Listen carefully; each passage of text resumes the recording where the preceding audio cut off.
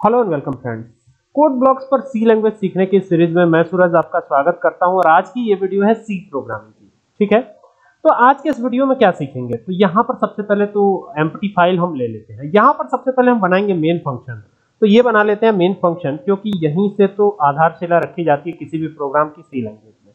तो ये हमने बना लिया मेन फ़ंक्शन और यहाँ पर इंट टाइप का या यहाँ पर मैं क्या करूँगा? एर टाइप का डेटा टाइप लेते हैं ए ठीक है?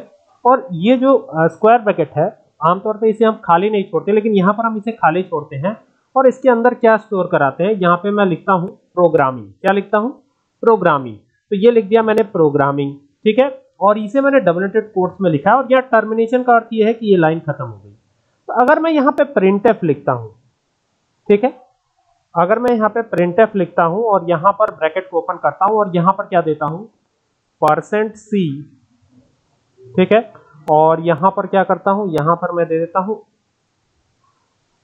ए और ए में क्या प्रिंट करवाऊँगा? जरा ध्यान दीजिएगा, यहाँ पर मैं ए टू प्रिंट करवा रहा हूँ टू तो जरा ध्यान दीजिएगा, यहाँ पर क्या प्रिंट होके आएगा। तो देखिए एरे की इंडेक्सिंग ज़ीरो से स्टार्ट होती है तो ये पी हो गया ज़ीरो ये हो गया वन और ओ हो गया टू यानी यहाँ पर ओ ही प्रिंट होकर आना चाहिए। तो चलिए, ये देखते हैं, इसको एक बार चलाते हैं, यहाँ से कंपाइल करवाते हैं। तो ये कंपाइल करवाते वक्त ही हम इसे सेव करेंगे। ठीक है? तो यहाँ पर इसे सेव किया मैंने डॉट सी लगा करके, ठीक है? ये हो गया तो ये सक्सेसफुली कंपाइल्ड हो गया है, अब यहाँ से इसको रन करवाने की बारी है। तो जैसे ही रन करवाया तो यहाँ पे क्या प्रिंट हो गया? रहा है ओ यानी एरे की इंडेक्सिंग तो ज़ीरो से ही स्टार्ट होती है, ये तो बात क्लियर हो गई। अगर मैं यहाँ पे थ्री लिखता हूँ, या ज़ीरो लिखता हूँ, ध्यान दीजिएगा ज़ीरो लिखा इस बार। ये ओ नहीं है, ये ज़ीरो है।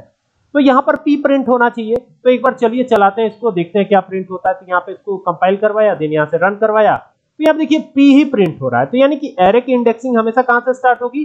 ज़ीरो से ही स्टार्ट होगी। ये बात याद रखिएगा, ठीक है?